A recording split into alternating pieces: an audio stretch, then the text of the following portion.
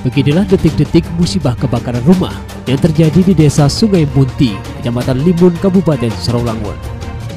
Peristiwa kebakaran terjadi pada Jumat malam pukul 23 waktu Indonesia Barat yang mengakibatkan enam rumah warga berikut dengan beberapa toko ludes di dalam sejago merah. Warga yang melihat kejadian terlihat panik karena takut api meluas dan membakar bangunan rumah warga lainnya.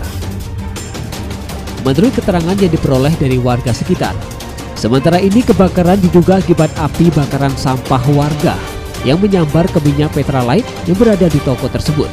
Api sangat cepat membesar karena toko dan rumah terbuat dari papan.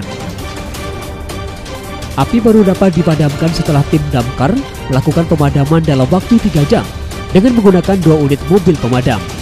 Tidak ada korban jiwa dalam peristiwa ini. Namun untuk kerugian saat ini masih dalam pendataan oleh petugas Dinas Pemadam Kebakaran Kabupaten Sarawangun. Surya Abadi, Jambi TV.